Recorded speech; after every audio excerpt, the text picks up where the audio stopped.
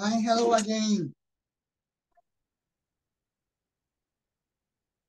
ふうそう、何？私は海外でうまく成功せないかんってこと？あ、それは第二段階です。あ、第二段階？あの、マセさん残念ながら外国語ほぼできないので今。そうそだから、日本で、えー小さいながらも、その基礎は固める必要があります。う。うん。で、えっ、と、人を雇うことができるようになってから、あのー海外うん。の言葉が喋れる人を使ってあ、えっ、と、海外に本社を移転する。っていうことになります。あ、なるほど。前言ってたやつだね。うん。流れを。そうです。あの、幸せ教団みたいなのを作ればいいです。うん。で、それで、えっと、YouTube でもいいし、何でもとにかく億単位の成功をして、で、えーその中から、その、えっと、優秀な人を発掘することさえできれば、えっと、 GAFAM に匹敵するようなことができるかもしれない。うん。あの、今、IT の技術がないと成功できないかのような時代なんですけど、今はそうじゃなくって、これからは IT を使うことができたら、えー IT の知識そこまでなくても大丈夫よの時代にこれからなります。へえ。はい。まあ、さすがにあの、なんかパソコン触ったことないレベルはまずいんですけど、割と簡単な、やばいよ。うん。割と簡単なレベル。だから、今でいうプログラマーのレベルぐらい。あの程度ぐらいで、その人さえちゃんと使うことができたら、あのうん目標とするものができますから、そしたら、えっと、どんどん新しいことができていく。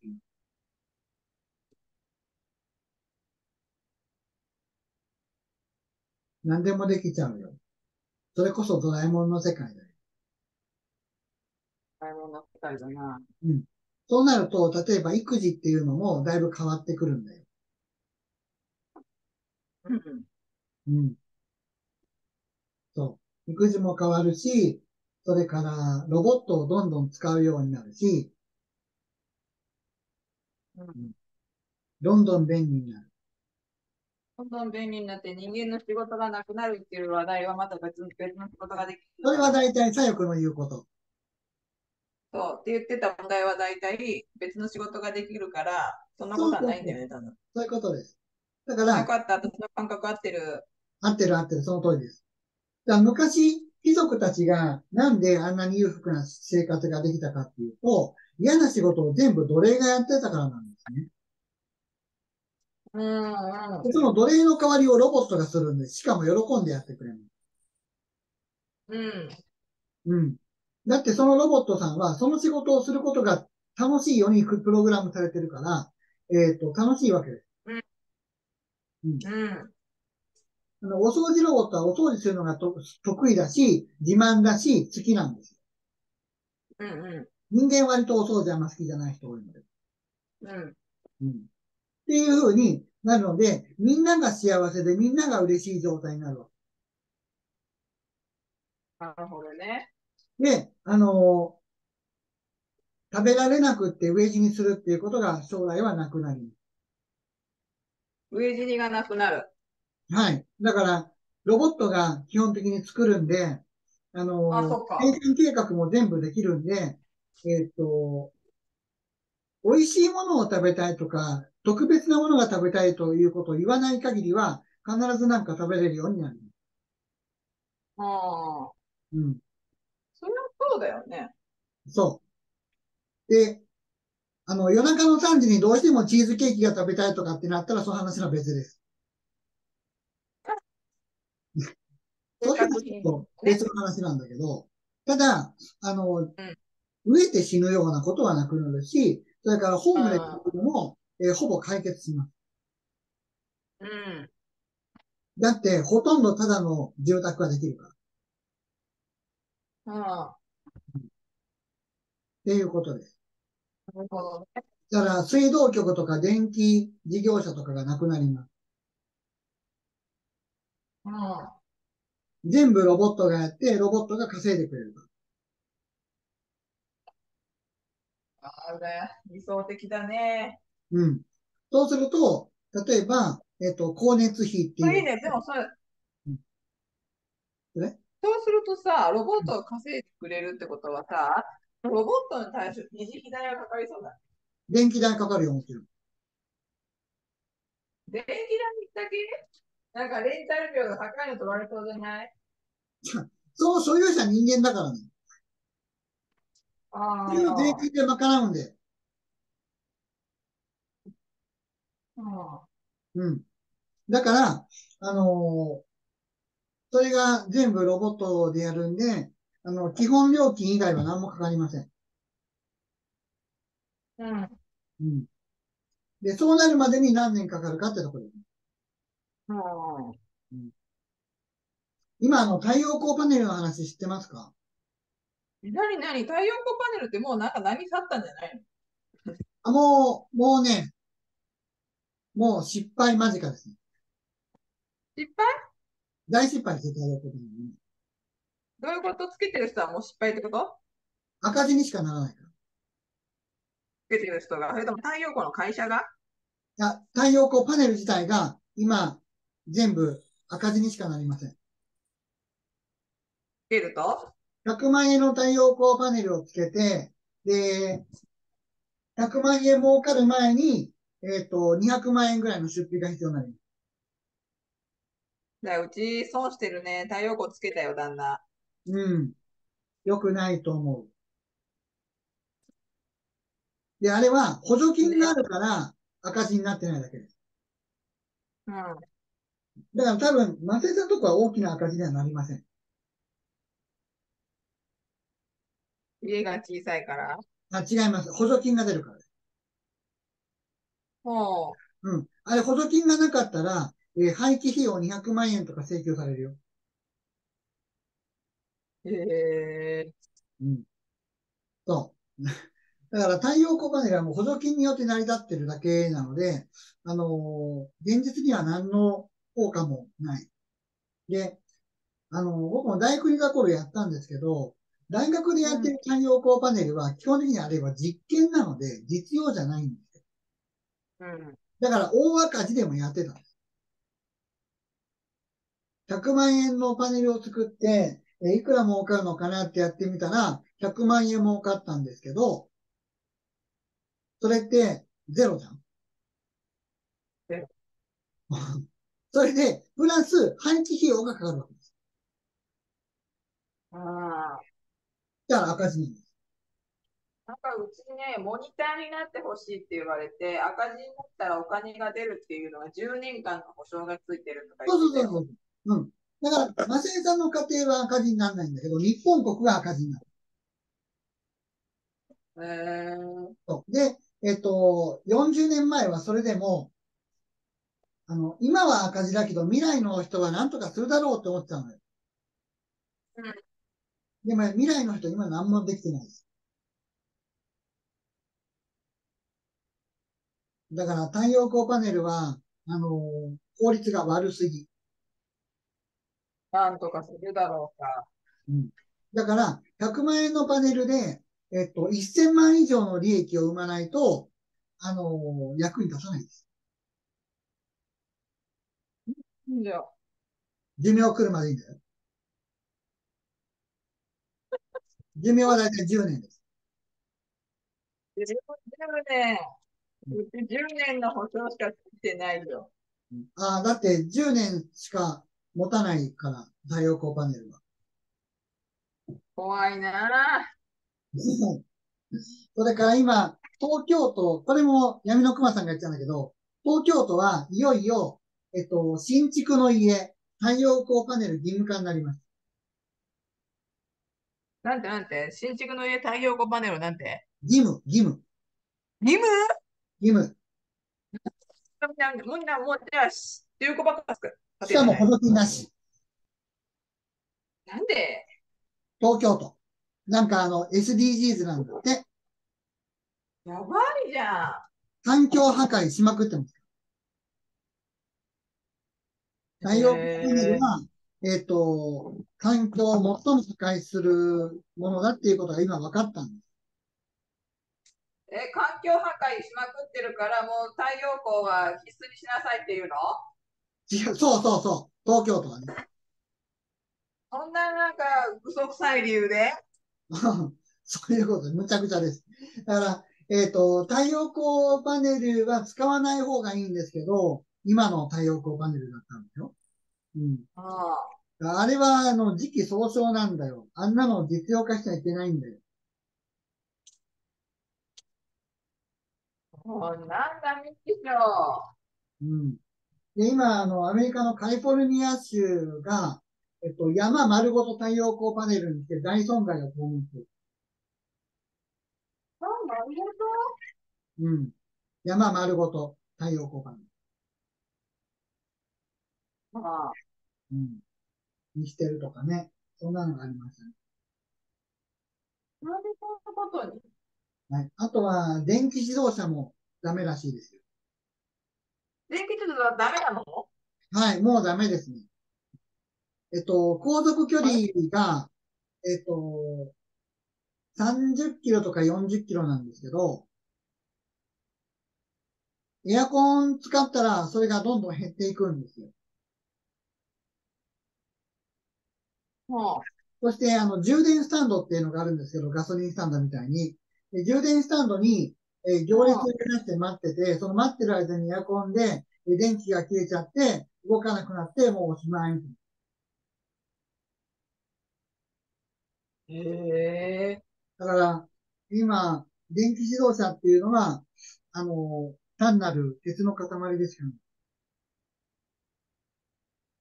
え、でも電気自動車になっていくとかなってんじゃん、今。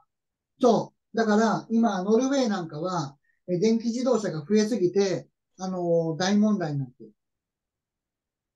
え、どんな問題になる？のなんか良さそうな気するけど。だって、電池切れで止まってる車があったらどうなるかわかる？電池切れで止まってる車があります。ここにも止まってます。うんここにも止まってます。つっかえるじゃん。つっかえたらそこで止まるでしょ。止まってる間もエアコンつけてるから、電池はどんどん消耗して、なくなるよね。やばいじゃん。だから大渋滞に。ダメじゃん。はい。これが電気自動車の限界です。何やってんの？で、もしこれガソリン車だったらどうなるかわかるよね。ガソリン車で1台演出しましたと、ガソリン切れですと、ガス欠ですと。そしたら、JAF が行って、10リットルあげるよって言って、ガソリンあげて、で、10 30分以内に解決しますよ。じゃあ電気ってあのプリウスはじゃあ逆にいいんだ。プリウスみたいなガソリンでも走れてっていうのは。10リットルの時はあんまり問題ない。ね、あれはもう大成功だよね。じゃあ言ったら。大成功。はい。電気の時で走ったり、ガソリンで走ったり、両方できるからね。うん。で、今は電気の技術がすごく低いので、レベルが。だから、あのーダメなんですね。だから、航続距離が、だいたい1000キロとかじゃないとダメなの。うん。1000キロっていうのは、その、エアコンつけっぱなしで、で、ライトもつけっぱなしで、100キロぐらいは走れてないと、こういう渋滞浜の時にもおしまいなの。うん。だからもう、24時間どころか48時間ずっと使い続けても平気ぐらいの電気、電気量じゃないとダメなんですけど、そんなんはないです。本当にあの、30キロぐらい走ったらもう終わりと。そういう状態です。あうん。だから、へえでもその電気を作るのに、えー、二酸化炭素はどんどん排出してますから、電気自動車を走らせれば走らせるほど、えー CO2 がだんだん濃くなる。あはい。これが電気自動車の現実です。だから、誤りすぎたかなって思う。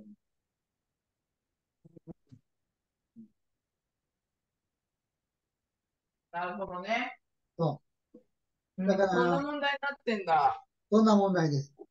だから、例えばこの、携帯電話ぐらいの大きさの電池で、えっと、100時間ぐらいエアコンつけっぱなし、電気つけっぱなしで、えー走り続けられますよ、だったら使えると思う。うん。うん。でも今の技術では全然ダメです。ガソリンの方がまだまだある。だから他のエネルギーとか他の方法っていうのを、えー探らなきゃいけない。実験としては正しかったんですけどね。うん。大学の中でやる分には全然構わないわけですよ。電気自動車とか、えー太陽光パネルとか。僕のいた大学でも太陽光パネルやってましたからね。うん実験でね。で大学の中なんで、うんあ、これは赤字になるなと分かっててやってるか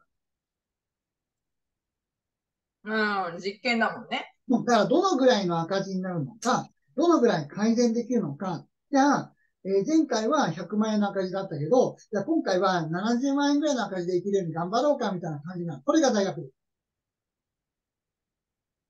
ああ。うんうん。で、できもしないものを、もう補助金を突っ込んで、えーみんなに太陽光パネルやらしたり、電気自動車やらしたりする。そしたら、うん電気自動車の会社とか太陽光パネルの会社がめちゃくちゃ儲かる。うん。政府が補助金出すから。それで大成長したのが中国ですよ。ああ。はあ。っ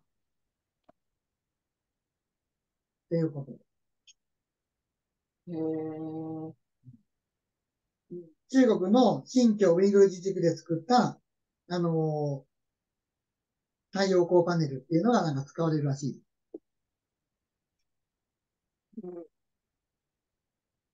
まあね、こんな話は大体闇の熊さんから聞いたのが多いです。いやー、そういう時代なので、我々ができる明るいことって言ったら、できることをやっていく。ああ。ですよ。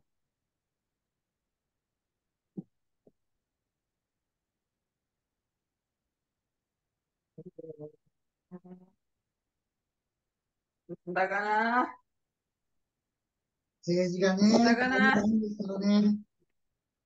え、カッシーの見込みでは、一応、あ、止まっちゃった。止まっちゃった。もう一回言って。あ、カッシーの予想とか見込みではうん、良くなっていくと思う？えーっとね、当分変わらない。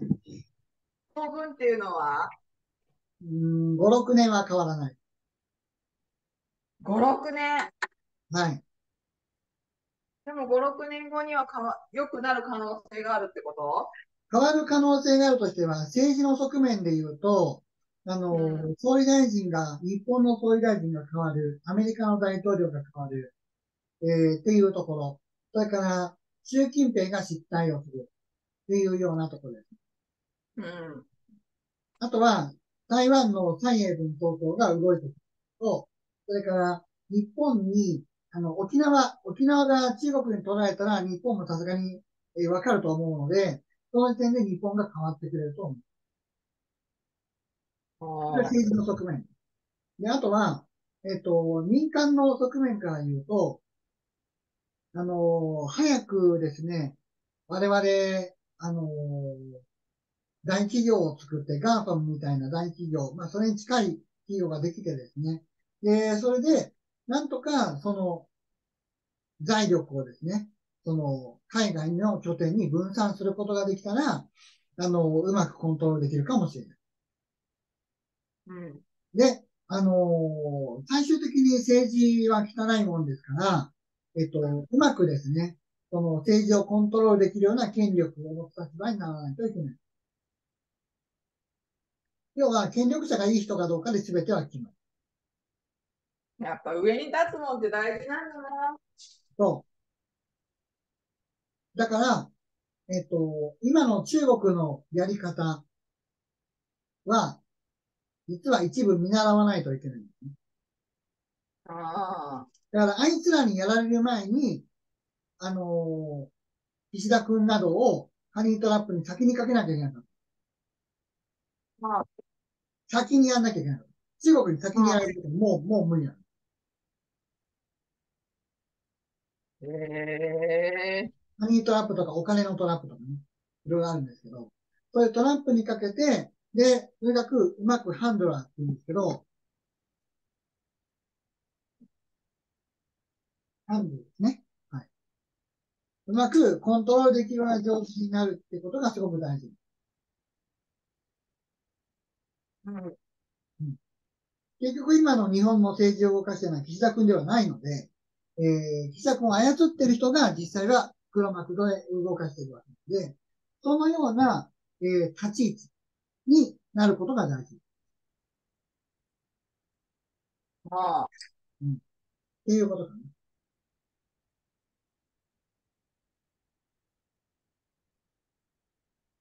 まあ、マクロ的に見たらこうですね。で、ミクロ的に言うと、えっ、と、なんとかですね、私たちが、その、小さなものでもいいから成功していく。まあ、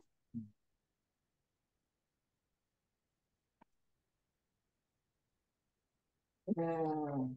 で、小さなことで言うと、あの、マサさんの場合は、あの、幸せ教団を早なるべく早く作ると。幸せ日記？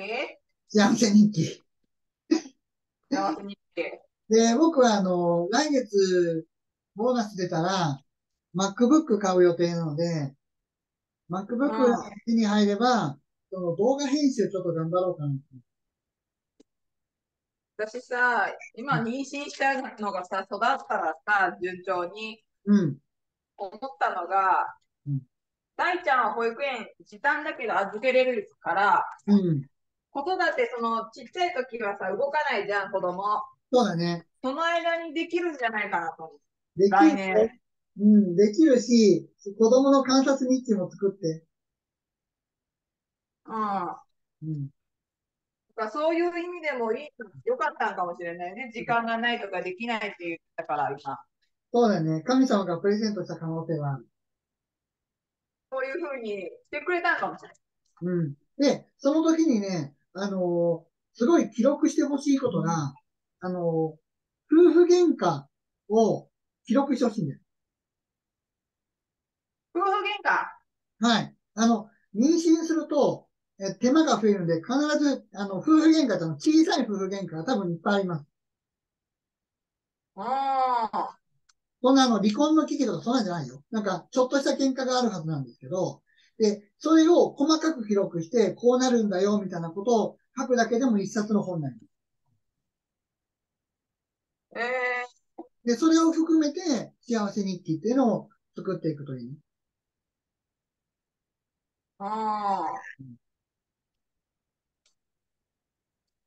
なるほど。で、それがどんどんできるようになってきたら、あの、動画もね、あの、僕もなんとか編集できるように、来月から頑張って勉強するので。なんか、う YouTuber らしいね、なんか、かっこいい動画にしたいなとずっと思ってたから。YouTuber らしいかっこいい動画ね。だって今これ普通に撮りっぱなしをそのままアップロードしてるだけだ。いまあ、最初はね、や、ところがよ、ただ、この、このね、トリッパのやつをこのまま出してんだけど、見てくれてる人はいるのよ、何人か。え、そうなんだ。びっくりよ。で、いや、見てるよ、私も体重とかと体重とかいろいろ。大公開されてる。まあ、あの、そんなに多くはないんですけど、何人か見てくれてるんで。だから、あのまあね、どんどん、あのいいのがね、できてくれば、あの YouTuber としても、あの、そこそこの地位にはいけるかな。うん。それはぜひ、ね、それで、えっ、と、幸せ日記と、それから、あの、ダイエットキャンプみたいなやつは、ぜひやりたい。ダイエットキャンプね。そんな感じがする。私は妊婦になりながらダイエットをするって決めたから。あこのと座りの間に元の体重よりもかなり落として、かなりって言うとあの健康的な範囲でね。で、子供だけ増えて出産しても、もう体重がもういい感じになってるっていう。そうそうそうそう。それはぜひやってください。うん。めちゃくちゃ期待します。で本当にあの、このチャンネルだけで、えっと、収益も上げたいけども、もっともっと、あの、いろんなところに膨らましていきたい。